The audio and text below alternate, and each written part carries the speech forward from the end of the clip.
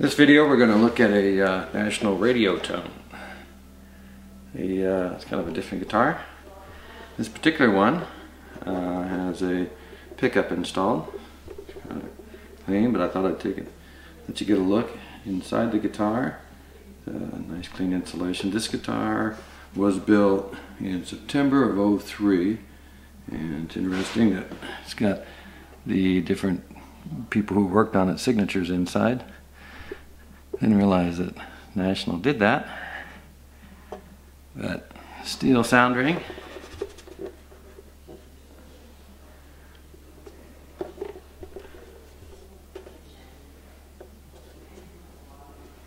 Guitar, this one's guitar's hardly been played. That sounds really cool when it's hooked up to an amp. So we run out in the shop, put this back together, and we'll take another look at her. So uh, here we are, uh, all back all put together. Uh, it's uh, as you can see, it's a really clean 2003. The uh, excellent shape. The uh, little teeny dings, there's one little teeny one right there, if you can see that very well. And one more little kind of scratch, can't even see it's right there by the radio tone. Point out to you. Right there. Other than that, nice clean little guitar.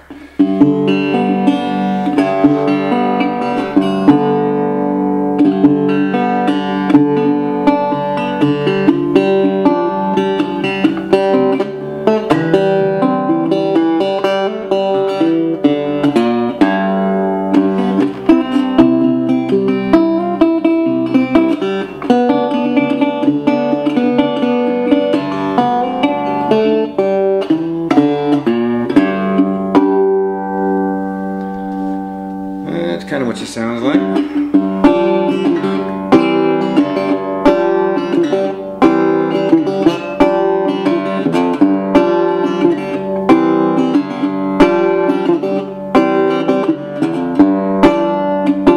And then uh, it actually sounds pretty good plugged in. Uh, I uh, plugged it in here, got a little Gig Pro preamp, LR Baggs. And then I have a little teeny little battery operated 5 watt street cube. Pretty neat little thing. I got it set on acoustic clean.